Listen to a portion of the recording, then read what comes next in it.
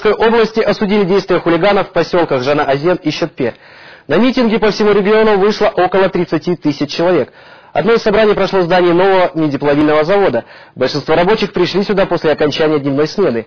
Коллектив Косцинка осудил действия хулиганов и грабителей, которые в праздничные дни орудовали в Жана-Азене и Щетпе. По мнению простых металлургов, трудовым спором воспользовались криминальные элементы. Ошибка местных профсоюзов в том, что они вовремя не смогли объяснить нефтяникам разумные способы отстаивания своих прав. Акция в поддержку политики президента прошла и на Ульбинском металлургическом заводе. Работники одного из самых высокоиндустриальных производств Казахстана одобрили политику главы государства, направленную на индустриализацию экономики и дальнейший рост благосостояния всех казахстанцев. Мы решительно осуждаем эти действия.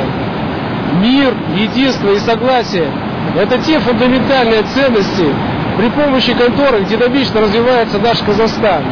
И мы должны бережно относиться к этим ценностям. Я, как юрист, как председатель профсоюзного комитета ТО «Косцин», совершенно четко представляю себе и понимаю, что любые трудовые споры, любые конфликтные ситуации, они должны рассматриваться в рамках законодательства, о чем гласит статья 24 Конституции Республики Казахстан. Особенно обидно, что все это происходит, происходило в дни празднования 20-летия независимости Казахстана, когда подводились итоги пройденного пути. В Казахстане достигнуты большие успехи всего. Раб, развивается экономика, работают фабрики и заводы, получают своевременно зарплату, пенсии, социальные пособия.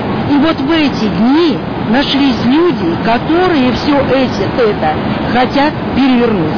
Единство, согласие, солидарность – вот те, те три направления, э, которые мы, по которым мы должны жить. И тогда Казахстан будет идти вперед.